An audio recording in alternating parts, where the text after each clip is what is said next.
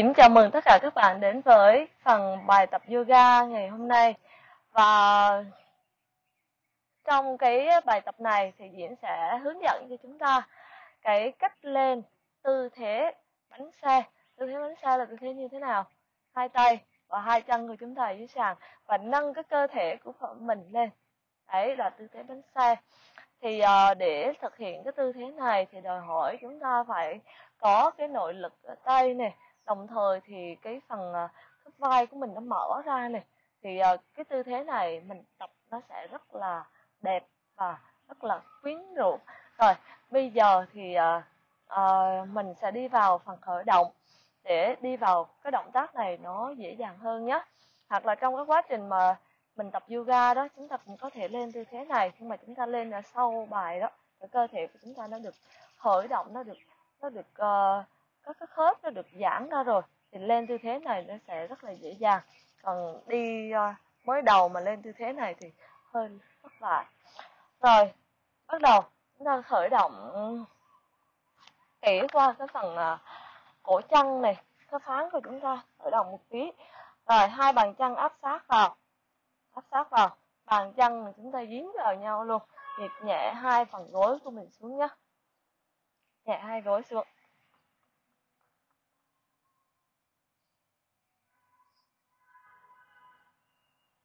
Đấy, nhấn hai phần khớp gối của mình xuống.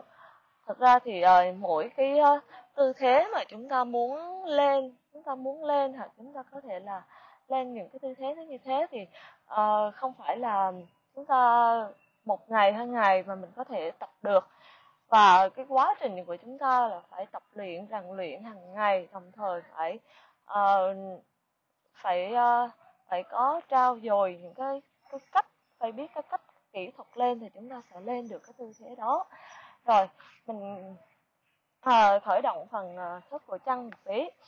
Thì à, trong cái quá trình mà diễm à, ờ, hướng dẫn cho chúng ta lên tư thế đó thì hầu như là à, các bạn sẽ vấp ngã ở một cái số điểm.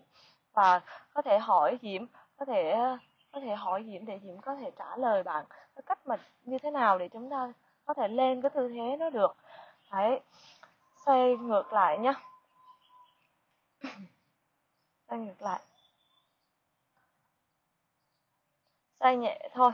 Khớp gối của chúng ta xoay rất là bình thường, nhẹ nhàng. Đấy. Chú ý đừng nắm các đầu ngón chân nữa chúng ta đừng có nắm một bàn chân. Nhiều bạn thì như thế. Nắm ở trên rồi nắm ở dưới, nhưng mà chúng ta nắm ở đầu ngón chân á mình xoay nó sẽ nhẹ nhàng hơn. Đồng thời là nó đúng hơn. Đấy kéo chân áp sát bạn này, nhịp phần gối xuống. Nhịp nhẹ gối xuống.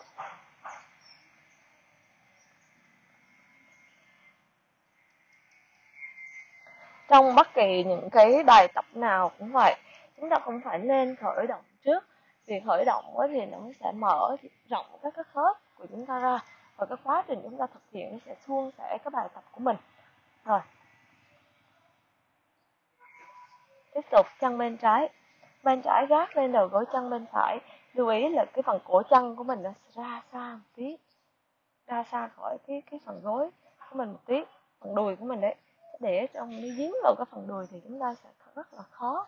Khó khó mà thực hiện được. Chúng ta khó mà xoay được. Rồi, chúng ta xoay ngược lại.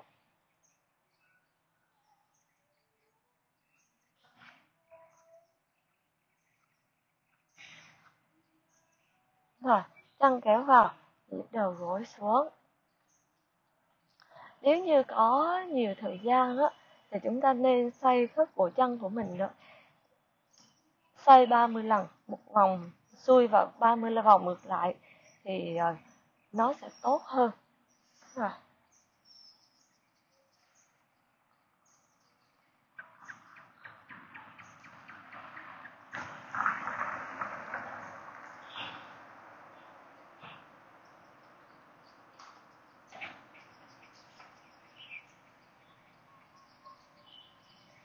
Rồi thu chân kia lại luôn ngồi thẳng lên thảm. À, và hai tay của mình lúc này chúng ta sẽ nắm vào nhau xoay phần khớp cổ tay.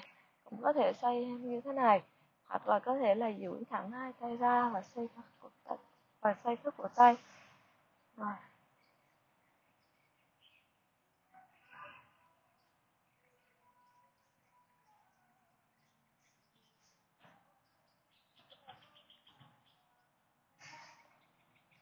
Hai tay đang nhảy qua.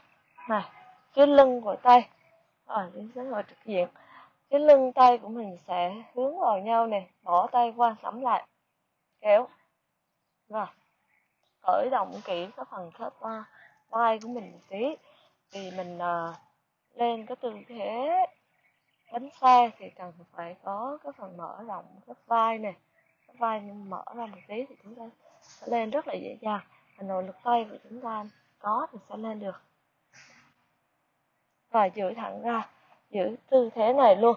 Ba, hai, một. Rồi, vòng ngược lại.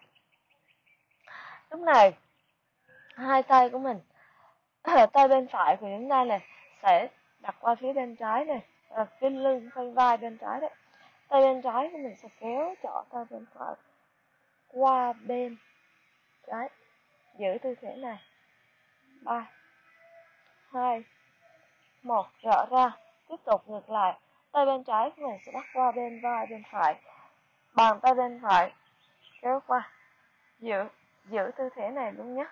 Một, hai, ba, bốn, năm. Rồi gỡ ra. Tay nhẹ phần cánh tay rồi khởi động kỹ một tí để chúng ta có thể thực hiện tốt hơn cái bài tập này nhé.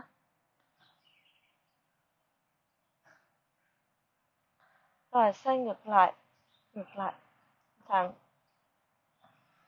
Không xoay phần bắp tay nhá không xoay xoay phần bắp tay. Không xoay phần bắp tay rồi rồi cổ là một phần không thể thiếu. Bây giờ chúng ta sẽ đi vào phần cổ. Hai tay đặt lên gối. Chúng ta xoay vòng tròn, nhưng mà phải theo này vai bên phải này đưa ra sau, vai trái và kéo xuống sát ức nếu như chúng ta muốn xoay đúng thì phải tập trung về bốn điểm như thế. Ừ.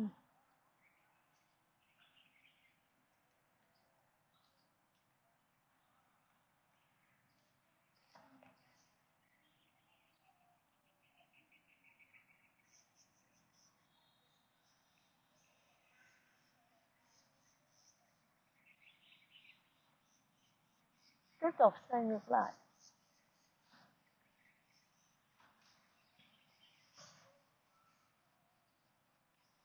chúng ta xoay khớp cổ từ à, 3 đến 5 vòng.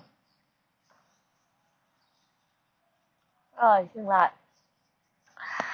Rồi chân gỡ ra. Hai tay chúng ta sẽ đặt dưới thảm. Hai tay đặt dưới thảm chân vuông góc tay vuông góc với thẳng nhé rồi, mắt chúng ta nhìn về trước, chúng ta võng lưng đứng còng hít vào rồi, hạ phần thắt lưng xuống. Cong lưng hóp bụng thở ra, mắt nhìn về rốn. Tiếp tục võng lưng dưỡng cầm hít vào mắt nhìn về trước. Cong lưng hóp bụng thở ra, mắt nhìn về rốn. Võng lưng rưỡng cầm hít vào, mắt nhìn về trước. Công lưng hóp bụng thở ra, đẩy nâng cái phần không lưng của mình lên. Thở.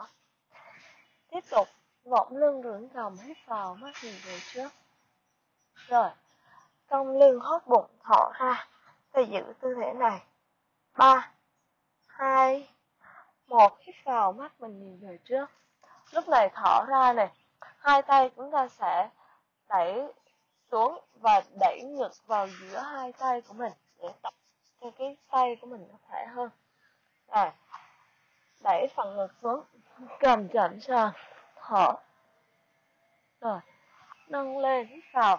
Thì cái, cái phần ngực của chúng ta nó sẽ ở giữa hai tay và phần cầm thì chậm sàn mắt nhìn về trước thì mới đúng.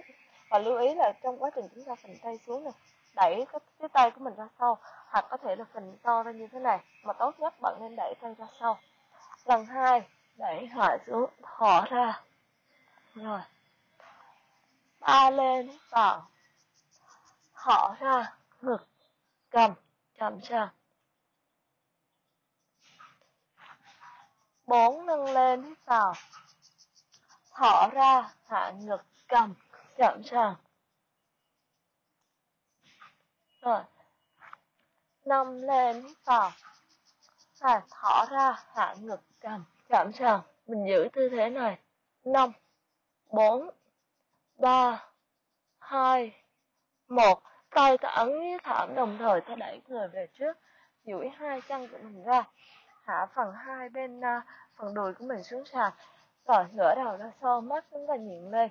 Đây là tư thế rắn hổ mang bàn chân duỗi thẳng và khép lại không để hình chữ V nhé mắt nhìn lên. Rồi, từ từ hạ xuống, cầm chậm sàn thở hết hơi ra. Tiếp tục, nâng đầu lên, mắt nhìn lên, hít vào. Thở ra, hạ xuống. Rồi. Lần thứ ba nâng lên, hít vào. Thở ra, hạ. Lần bốn nâng lên, hít vào rồi đẩy cái phần sống lưng mình xuống lưng mình xuống. Thở ra. Hạ cuối cùng ta nâng người lên hít vào mới nhìn lên. Giữ năm, bốn, ba, hai, một. Thở ra, mắt nhìn thẳng về trước. Rồi, chúng ta hạ cơ thể mình xuống. Rồi, hai tay vòng qua. Chúng ta nghĩ thở một tí. Hít thật sâu vào rồi, từ từ thở ra. Tiếp tục hít vào. Rồi thở ra. Rồi, hai chân co lại tay bên trái này nắm lấy cổ chân bên trái, tay bên phải vòng ra sau, nắm lấy cổ chân bên phải. Đây là tư thế dây cung cũng là tư thế mà giúp cho chúng ta cái phần vai của mình nó mở ra nè. Đẩy hai ta kéo lên nè. Đạp thẳng hai chân ra để cơ thể trên của mình nó được nâng lên. Ta hít vào. Rồi, thở, hạ. Tiếp tục. Nâng lên lần hai, hít vào. Thở ra, hạ. Lần ba lên, hít vào. Thở ra bốn nâng lên hít vào thở hạ rồi. Lần cuối cùng đẩy chân lên giữ năm bốn ba hai một thở ra. Rồi duỗi hai chân ra hai tay ta thu về. Rồi. Rồi đẩy người lên. Lúc này mình sẽ đi vào cái ờ, tư thế uh, bánh xe. Rồi nằm duỗi hai chân. Thẳng. Duỗi hai chân ra. Và nhẹ nhàng ngửa người ra sau. Người xem nằm. Nằm lên thảm. Rồi. Hai chân lúc này co lại. Chân co lại. Hai tay của mình sẽ áp dưới sàn tay bên trái này. Đặt ở phía đầu bên trái. Tay bên phải đặt ở phía đầu bên phải. Mắt nhìn thẳng về trước. Rồi nhẹ nhàng, nâng phần mông lên, đồng thời dùng lực hai tay đẩy người lên. Đấy, lúc ban đầu á, thì nhiều bạn sẽ chân mình, nó sẽ co như thế này, nó co như thế này chân co, tay chưa thẳng, tay nó có thể như thế này. Chúng ta dần tập dần đều đều thì à, cái phần tay của mình, nó, lực tay nó sẽ mạnh hơn. Thì chúng ta sẽ đẩy thẳng tay ra, duỗi thẳng chân ra ta đẩy người lên đẩy về phía trước mặt mình đẩy người về phía trước. Đấy. Rồi tiếp tục. À, Diễm sẽ lên một lần nữa cho chúng ta quan sát nhé. À, và lưu ý rằng đó là trong cái uh, bàn tay của chúng ta sẽ cái, cái lòng tất cả cái bàn tay của chúng ta từ cổ tay đi lên á thì nó chạm hết dưới sàn luôn. Đừng có để các ngón tay chạm sàn là cái thứ nhất. Đừng có nâng các cái ngón tay lên là cái thứ hai rồi mình sẽ đi vào tiếp tục nè. Hai tay. Tám cái sàn mắt nhìn lên hai chân co lại. Và chân của mình nó sẽ uh, song song với nhau. Và khoảng cách nó sẽ nhỏ thôi khoảng cỡ bằng uh, uh, bao nhiêu này đấy. Nửa găng tay to của các bạn đấy. Rồi um, chân thì là song song với nhau này bàn tay thì chạm hết cái lòng bàn tay và các ngón tay dưới sàn rồi đầu thì mắt thì nhìn về phía trước. Nhưng mà khi mà chúng ta nâng cơ thể lên rồi đó mình thả lỏng phần cổ ra và không cái ờ, cái gồng cổ lên.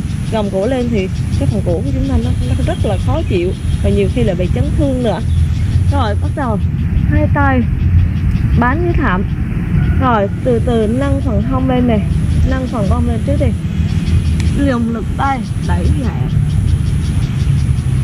Phần đầu lên ra khỏi mặt sàn thả lỏng phần cổ. Không gồng lên như thế này. Thả lỏng. Chân của chúng ta à, phần à, cơ thể của chúng ta khi đã lên được trên thảm rồi. Thì bắt đầu mình sẽ không có nhích chân tất cả không nhích chân nhưng mà chúng ta sẽ đẩy người về phía trước. Rồi đẩy người về phía trước. Phải giữ như thế này. Năm bốn ba hai một. Từ từ hạ đỉnh đầu chạm sàn đấy từ từ hạ cơ thể xuống. Đấy. Rồi mình sẽ nằm ta thư giãn một tí nhé. À. Sau khi mà tập xong cái động tác này thì mình nên nằm thư giãn khoảng tầm ờ, uh, 2 phút chẳng hạn. Nằm trên thảm thư giãn để chúng ta lấy lại phục hồi cái cái năng lượng của mình rồi bài tập uh, lên tư thế bánh xe của Diễm đến đây là kết thúc rồi. Cảm ơn tất cả các bạn đã theo dõi bài tập của Diễm. Nếu cảm thấy bài tập này hay và có ích thì hãy uh, like và uh, đăng ký kênh để theo dõi những cái bài tập mới nhất của Diễm nhé. Xin chào và hẹn gặp lại.